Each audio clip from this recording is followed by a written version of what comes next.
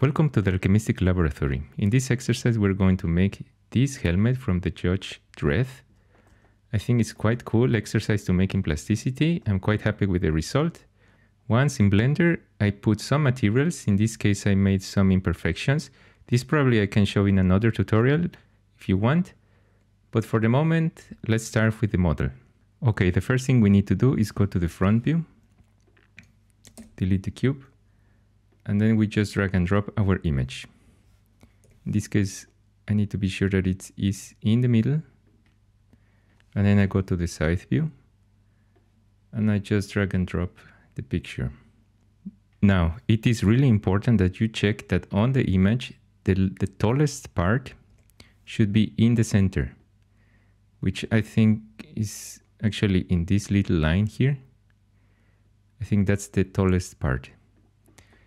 And then as always, you just need to be sure that these two are matching.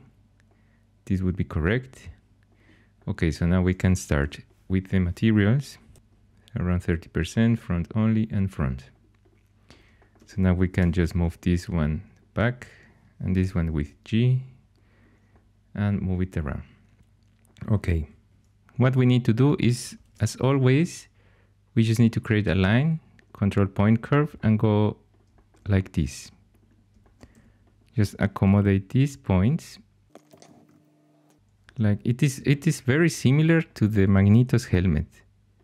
So we go now to the side view and we create a line. So we're here and remember at this endpoint, we just make this line here. I'm going to continue this curvature here, like this. I think it will look much better in the end. And from here, I go straight and straight here. So this, now I cannot see correctly here, but I just guide myself with intuition. So now I grab these lines make it like this. Now I need to extrude this part, delete these lines, and I grab the black edge, this blue and this black, loft it in G1, grab these two faces, delete them, mirror it, and join it. Now this is something important. This visor, this part here, we can grab it just now. So what I'm going to do is I'm going to draw some lines here. But first, I'm going to cut this line down here. So I suggest I grab a line somewhere here and then the line finishes somewhere there.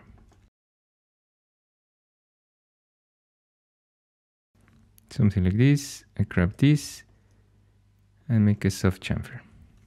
Then I cut this part and now we have more of our basic shape. Now this part, so I'm grabbing a line, crossing everything, and I just make it like this to have it there for the moment. And from here I just grab a line, and from here some control point curves. From here, again, some control point curves. Mm, I'm going to make it somewhere here in the middle because I think this looks like an extrusion. I don't know what is this. And then from here down, it's just another line. Okay. So we have this part, we can mirror it, grab these lines, join them, imprint them and there we have it. And this line we can also now imprint it. So this face we can delete it. And these ones we can press shift D. This will be called visor. We can hide it. And this one we can delete it. So we have the helmet and we have the visor separate from each other. Now these curves underneath, I can delete them. I think at this point I can make a redundant topology. It's correct. What seems to work. And now we can just press F thicken and we thicken it inside. Something like this. So you see it's quite similar to the Magneto helmet. Now what can we do next? So I suggest we do the this shape here. Okay. So for this, I'm going to make um, control. I'm going to make a line, normal line that goes from here to here, then somewhere here, here, here, and maybe close it there. Uh, something like this. Now here I'm going to make a soft chamfer. This here too. Just similar to to the reference object. You can do this like always I say, you can do this better at home. just try to make it a bit faster for the tutorial. So you see I have this shape now. Seems to work quite okay. Now from here, I need to make a control point curve. So I just draw some lines this way. Uh, maybe something here and something like this that goes down. Okay, so you have time to refine it at home. I'm going to imprint them. Okay, what do we do next from here? I need to make some straight lines. So I grab here and just where it's somehow snapping to this edge, let's say there. So I mirror it, grab this one, imprint it, and we just delete the curves that we don't need. So in this case, I'm going to close the x-rays. This I don't need, so I delete with X, press X again, X, and seems is okay. X and X. Mm -hmm. Perfect. It seems quite good. These curves I can delete. Now, what else we need? Uh, we need these lines from here. So I'm going to draw a line somewhere from here to here. Mm -hmm. I think it's correct. But actually it should be all the way because this line continues there. Okay, so I'm going to just delete these curves. And this line, going to move it all the way down. Mirror it. So we have these two and imprint it. Now, you see when I imprint it, you will have an empty cap here on both sides. When these things happen, normally what you need to do is just move it a bit straight and imprint it again. So now you see that it is closed. This is perfect. And each face are individually selected. This is also great. So from here is pretty much straightforward. We just grab these two faces and offset them inside. And if you see the reference, this is also a bit down. So I'm going to offset these ones outside.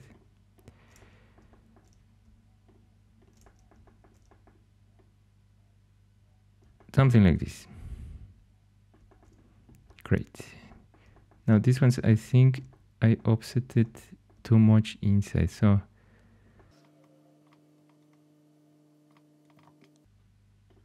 okay.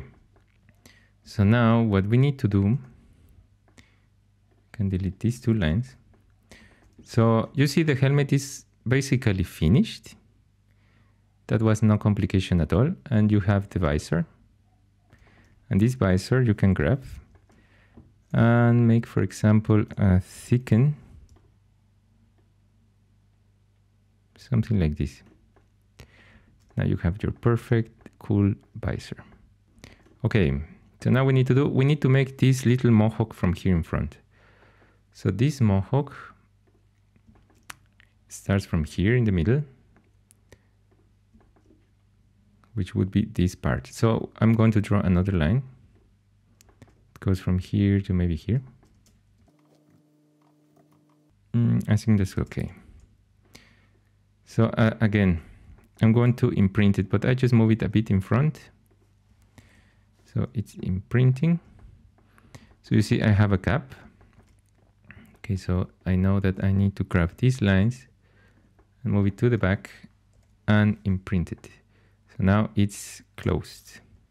Now, it doesn't matter, here is open because we're going to close it from here. So I'm going to make a line from here to here and imprint it. So now I just need these two faces. So what can we do now? I suggest we delete these faces, Shift X. Now it is open.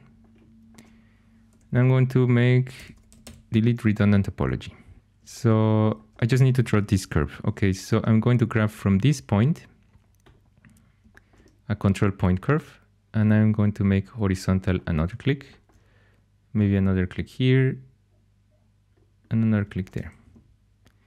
Now this point I move a bit up and somehow I think it matches.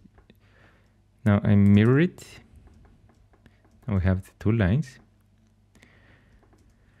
And I'm going to use a super powerful tool from Plasticity, which almost nobody uses, but this, you will see why it is super cool. Maybe this is not the best example, but in the next tutorial, I'm going to make, or one of the next tutorials, I'm going to make the Mandalorian helmet. And in the Mandalorian helmet, you see that in this situation, we will need this tool that I'm going to show you now. So I'm going to make a point from here to here. So we just draw the line from the side. Now we need the line from the front, which would be from here to here. So I'm going to draw from this point, snap it, make a control point horizontally first, and then snap it to the edge somewhere, somewhere really close here. Okay. So now we have the front line and the side line. And then I look for a tool that is called project curve to curve. My shortcut is Shift Command X. You can use your own if you want. So when I do it, it's going to make the graph this line and the one we draw in front and make an in-between. Now we can delete this line and the one and this one. We just need to snap this point to here. But you will see that this point, if we try to move it, it's not going to move anything from the curve. That's actually because we need first to rebuild this curve. So here down is the, the hammer icon. This is the rebuild. And in this case, the refit option just gives us enough points. So now we can grab one, snap it to the end of the other curve, and now it works. We just need to mirror it and have it. Now I have this shape and we just need to graph one straight line to this point. So I'm going to press here and press here, a curve. We do the same from here to here. Perfect. So that's the shape we need. So what we need to do now is graph these lines so that I don't get distracted. Delete them turn off the x-ray. What I want to do is graph from here and loft it to here. So let's see if it works now. It's making something strange. Okay, so that means because these two lines are separate, so I'm going to join them. Now it's a single line. And I'm grabbing these black edges and loft it and in G1 it's perfect. It's just that we need to grab these guidelines with shift click. So shift click here and shift click there. And now we have the shape. Perfect. And from here,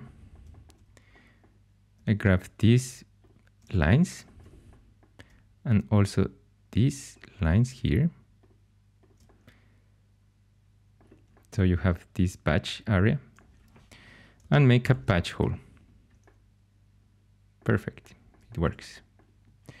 So I just need to patch these parts. So I'm going to join all the sheets, maybe hide the blue curves, and I make a patch.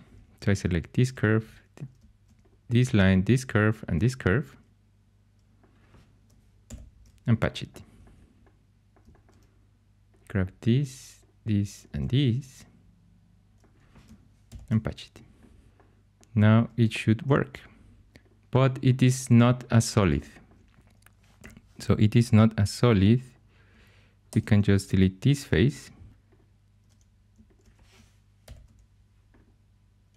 Okay, so somehow there was a problem here. I just needed to delete this face, patch it again, and now it's converted again to a solid.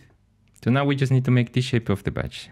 So for this, we need a control point curve, another one here down, a line that connects these lines. Grab these lines, mirror them, join them and imprint it. Great. And we do the same here. So grab a control point curve. We can duplicate it, join it. And from here we can just draw some lines that go from here close it and another line from here to here to here and close it here we grab these two lines mirror it we can grab all these lines imprint it and basically we can just only extrude it make an offset, something like this. I like that this is finishing where the helmet line ends or starts. And basically that's it. I think we finish our helmet. So you see it's quite easy. Very similar to the Magneto one with just this little twist from this little mohawk on the front. Now we can just delete the redundant topology. And there we have it. We can grab this, convert it with Command 2 or Control 2 and make a soft chamfer. Maybe these ones too. Something like this. Mm -hmm. And we can grab this line and this line. And again, so there we have it. And then we have also our visor.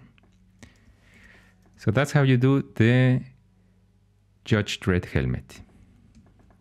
If you like these tutorials, please like, share, and subscribe. This helps me a lot. Thank you for everybody else who has subscribed already and give me a lot of cool feedback. I really appreciate it. Thank you very much. This makes me super happy.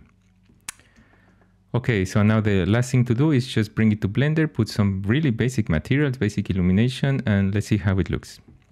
Okay, so now here in Blender, we can delete this. And before we connect it, I need to make just the, the floor we always do for the lighting. And I go to Blender, make the plasticity live link. So cool. I think the helmet looks super cool. I like it a lot and see here, it's making a really cool smooth transition. Now, there is a little pinch here. This pinch you can fix at home. This would mean that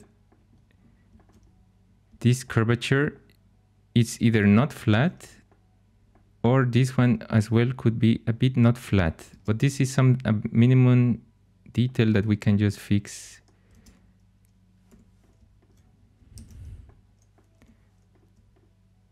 Maybe if I patch this one,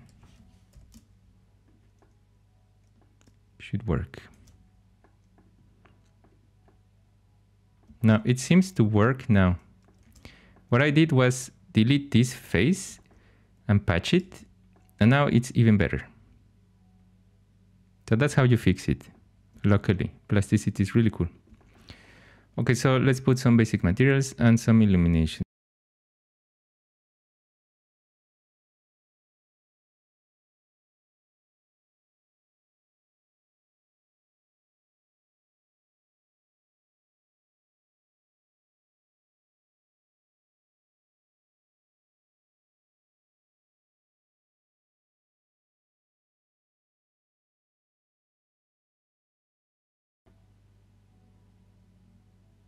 Yeah, I think that that's those are the colors. Okay.